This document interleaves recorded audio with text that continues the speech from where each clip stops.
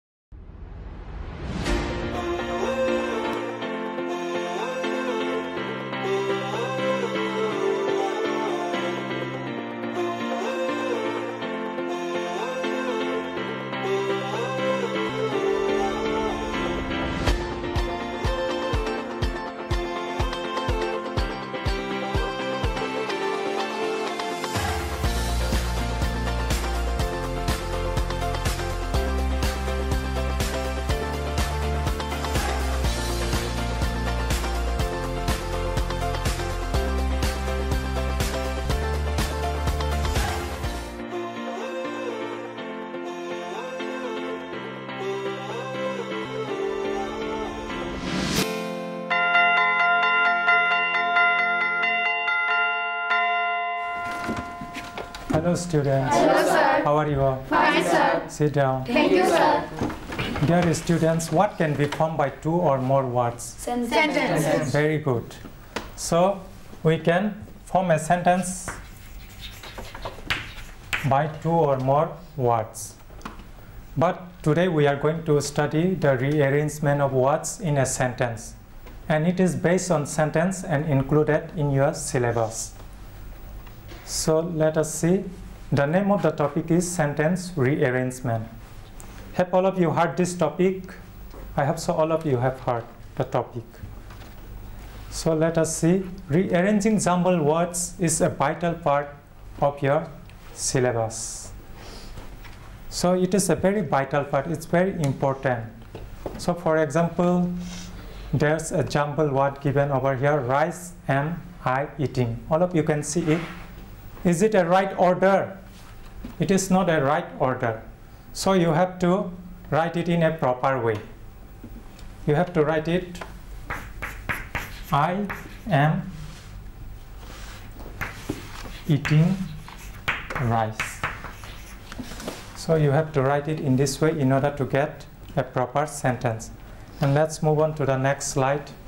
What is a sentence? We have to know more about the sentence. A sentence is a group of words that makes complete sense.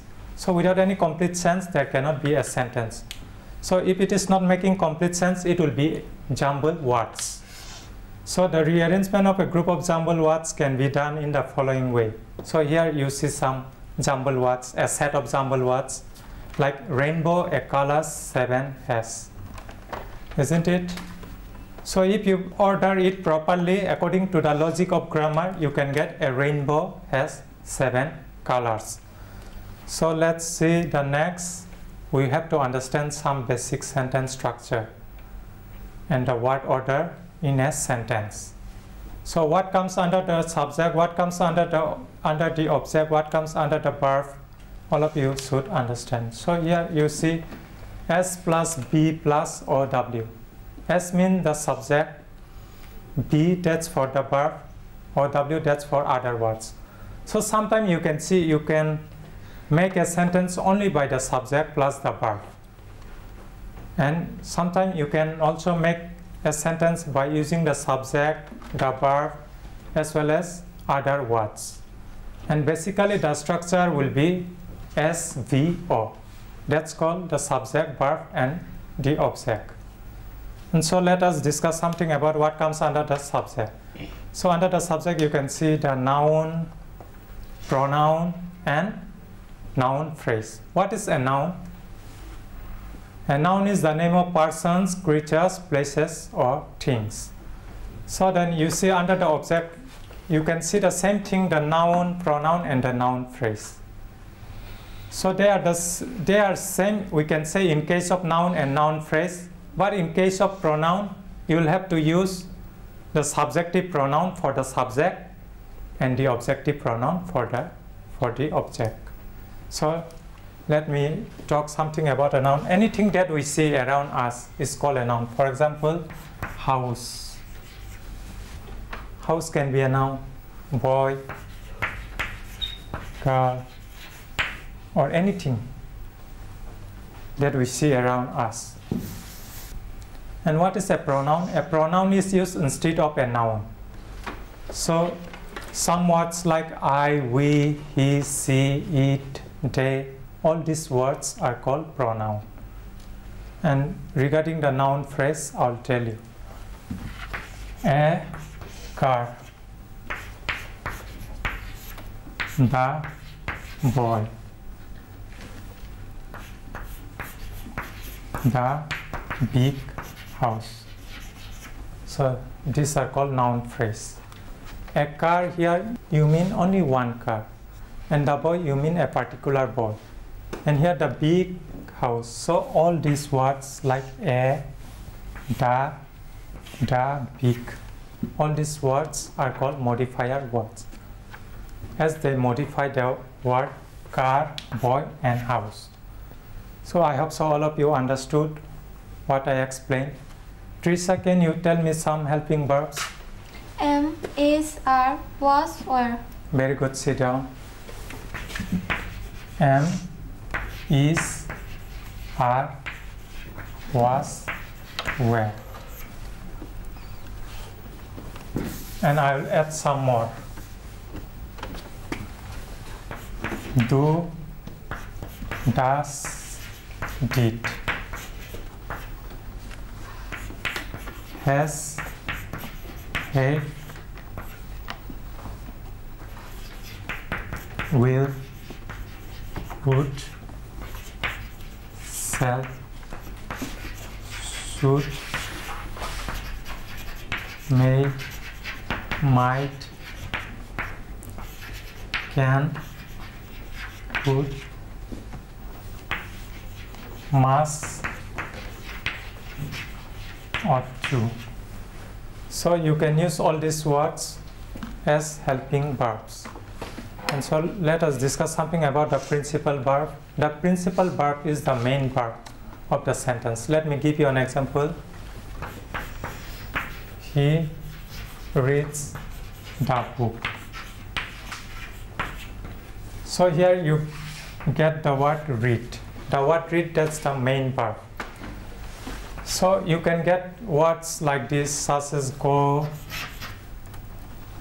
sing, swim,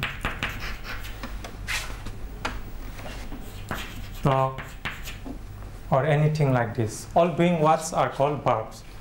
So we have finished uh, this. Let's move on.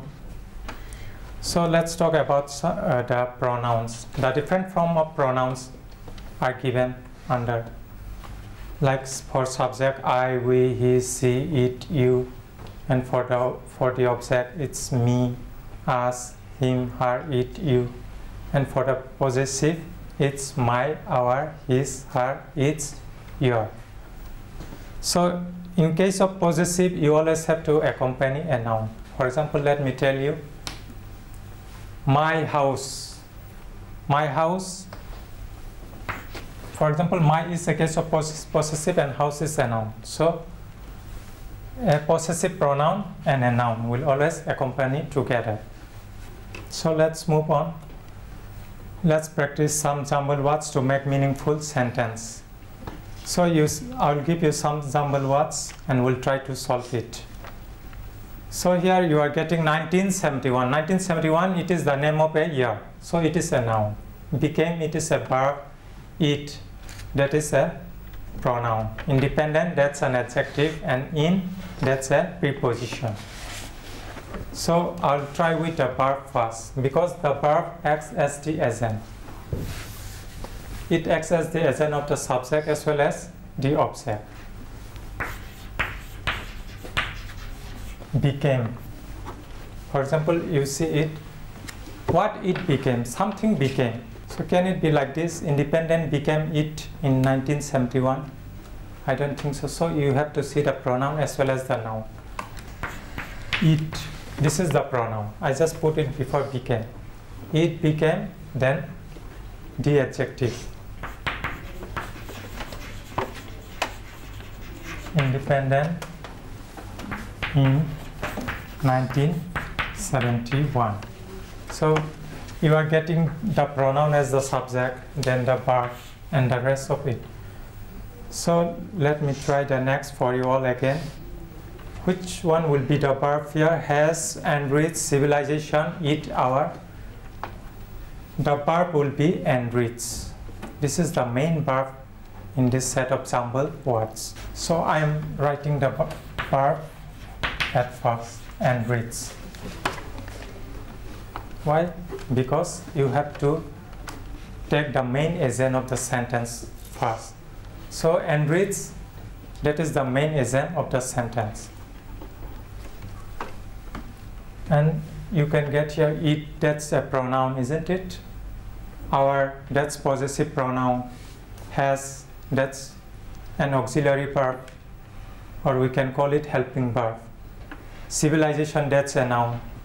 So if there is a possessive pronoun, a noun will always accompany. So it will be our civilization. Our civilization. And the helping verb will always come before the main verb. Like has. And I'm writing the pronoun it. So it is completed now. It has enriched our civilization. পুষ্টিকর খাদ্য এবং শিক্ষা আমাদের নিতান্ত প্রয়োজনীয় জিনিস। আপনি কি জানেন বর্তমানে ত্রিপুরায় বিদ্যালয় শিক্ষা দপ্তরের অধীনে মধ্যাহ্ন আহার প্রকল্পের উদ্যোগে সবকটি বিদ্যালয়ে সবজি বাগান গড়ে তোলা হচ্ছে। ছাত্রছাত্রীদের পুষ্টিকর খাদ্য প্রদান করার লক্ষ্যে সেই বাগানে উৎপাদিত সার এবং কীটনাশকবিহীন সবজি প্রথম থেকে অষ্টম শ্রেণির শিক্ষার্থীদের মিড ডে মিলে ব্যবহার করা হয়। চলুন, শিক্ষার্থীদের স্বাস্থ্যকর এবং নির্ভেজাল খাদ্য প্রদান ও সুস্থ সমাজ গড়ার লক্ষ্যে আমরা সবাই এগিয়ে আসি এবং প্রত্যেকটি বিদ্যালয়ে সবজি বাগান গড়ে তুলতে বিদ্যালয় কর্তৃপক্ষকে সাহায্য করি।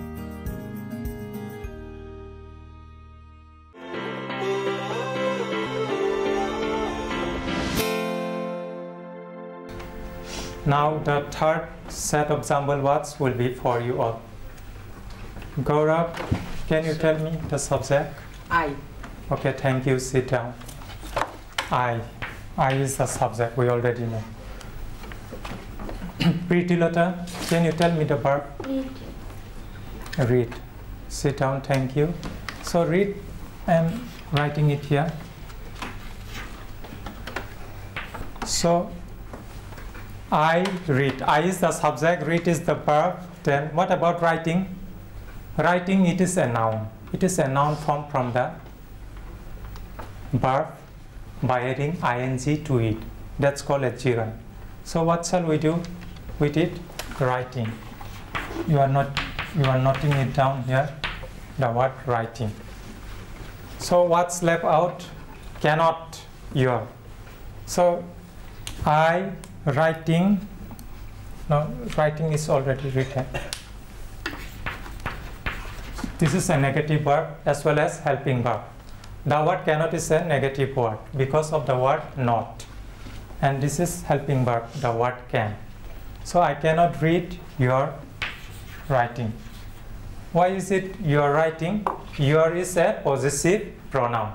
That is why you have to write your writing. And writing is not a verb here it is a noun so we have completed the sentence i cannot read your writing so let's move on to the next we are going to solve some interrogative questions So sentence cannot be only of the affirmative. There should be some interrogative also. So you will get especially in your syllabus some interrogative sentence.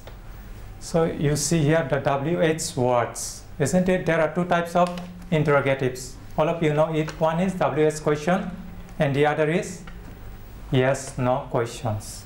So for yes no questions, you are going to use the helping verbs. And for the interrogative questions, all of you will use the WH words, isn't it? Like for example, let me give you an example. What, when, where, why, who, how. All these words are called WH words. And then what about the helping verbs or you can say the auxiliary verbs? Am, is, are, was, were, etc. There are more words. And moreover, these interrogative words will always come before the subject or it will be at the beginning of the sentence. For example, you can see here, what would you like to tell me? Here, the word what, and then the auxiliary verb would. You is the subject, and you can see other verbs like, and then you can also see the, the indirect object. So let's move on to the next slide, and you have to keep this in mind. You don't use an auxiliary verb if you ask for the subject. In this case, the interrogative simply takes the place of the subject. So the interrogative will take the place of the subject, like in the case of the word who. Here you see interrogative, verb, and object. So you don't have to mention the subject here, because the interrogative simply takes the place of the subject. So let us do some more exercise based on interrogative sentences. So here I gave you four sets of jumbled words. I'll do the first one and then I can ask any one of you to do the second one that I'll do the third one and then the fourth one I can ask any one of you. So let me try the first one. Can the book read you? So you have to bring some logic here. Can the book read you? Can the book read you? The book cannot read people. Isn't it? We all know that. So what if we bring the verb at first, read? Can the book read you or can you read the book? Which is more logical? Can you read the book? That will be more logical. So you have to search for some logical question also. So the second one, to sir, can you try? Sir, can my cat fit you? Sit down. I am sorry, dear. Actually, you have given me the wrong answer. Can my cat feed you? You told me, can my cat feed you? Actually, cat is the name of an animal. Can a cat feed people or we people should feed the cat? So you have to make some logical order. So cat cannot feed people. So we should write, can you feed my cat? So this will be the right answer. So the difference between the second set of jumble words and the third set of jumble words, there is a little bit of difference. In the first part you get the helping verb, but now we are going to do some WH word, isn't it? Which word? W-H-A-T. That is the word, isn't it? W-H-A-T. So look at the board. Last night you what do did. In this case you see last night. It is somewhat a noun phrase, isn't it? Like last, that's the adjective, night you already know you that's the pronoun what that's wh word do do will be the main verb do will be the main verb did that's a helping verb so come on let us arrange what did. Okay i'm writing the word did because it will come before the main verb isn't it? You. So you is the subject and the main verb then just continue last night. So you can get a complete sentence by arranging in this way so the last set of jumble words will be for all of you i can okay deepak can you solve it What is in your backpack? What is in your backpack? Okay, it's very good. It's a very good answer. What is in your backpack? What is in your backpack? So, which is the main verb here? Actually, we cannot get any main verb, but the helping verb is forming the sentence. Which is the helping verb? I already told you, is is the helping verb. So I think so we have finished. So let's move to the next. So all of you should keep in mind regarding these interrogatives. In an interrogative sentence, the subject is always stated, but it does not begin the sentence. So I already told you, you can see here the subject will never begin the sentence in case of interrogatives. You can usually find the subject of an interrogative by rearranging the question. So sometimes you can rearrange the question into a statement. Then ask who or what is doing the action of the verb. Isn't it? Then ask who or what, what is doing the action of the verb. In the example, you will see, will the taxi get to the airport on time? The taxi will get to the airport in time. So you are just changing the position of the helping verbs, isn't it? Here the helping verb is will. So the subject will always come first in a statement, isn't it? But in an interrogative sentence, the subject will never come first. So let's move on to the next. It's over. So any question? Okay, Priyanka. Sir, what are direct and indirect objects? Okay, very good question. Sit down. Direct and indirect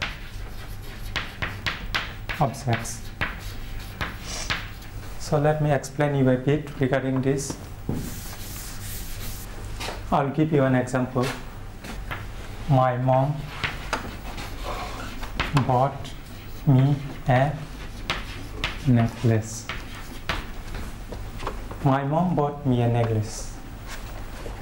So, what is a direct object? A direct object is the receiver of the action of the verb.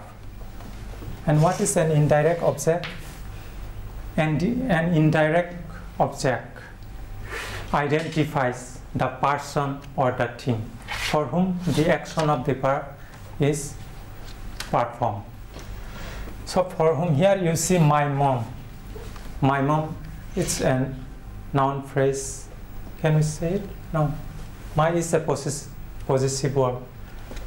So bought, this is the main verb. Necklace, me. So there are two objects here, isn't it?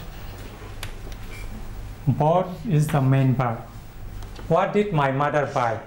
My mother buy a necklace. If it is a necklace, that means this is the direct object, isn't it? Direct object. And me, for whom? The action is done indirectly upon whom? Upon me. So me is the indirect object. So we are getting the indirect object as well as the direct object. I hope so all of you enjoyed my class. If there is any question or doubt, then we can continue in the next class. That's all. Thank you all. Thank you,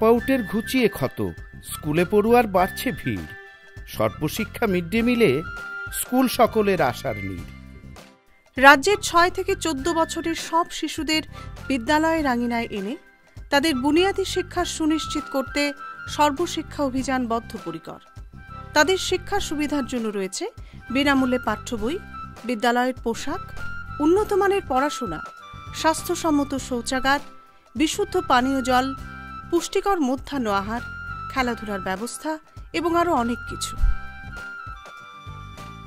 হ্যাঁ তাই দেরি না করে আজই আপনার এলাকার সব শিশুদের নিকটবর্তী সরকারি বিদ্যালয়ে ভর্তি হতে উৎসাহিত করুন। E classroom was sponsored by Rashtriya Madhyamik Shiksha অভিযান ত্রিপুরা রাজ্য মিশন।